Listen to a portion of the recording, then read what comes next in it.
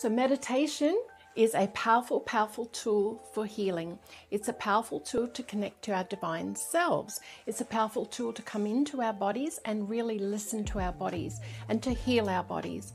Nikola Tesla talks about the secrets of the universe. And he says if you want to understand the secrets of the universe, think of everything in terms of energy, frequency, and vibration. So we are a frequency field. Through the torus field of the heart, we send out vibrations and frequencies. And this is how we communicate with each other.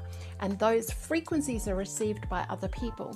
So the more we work on ourselves, the more we get the energy moving. Dr. Joe Dispenza talks about the energy being trapped in the three lower chakras, which is the root chakra chakra, the um, sacral chakra, and the solar plexus. And most of us are trapped in fear, guilt, and shame. When we start to move this energy into the heart and the energy radiates through our hands, we start to heal the body.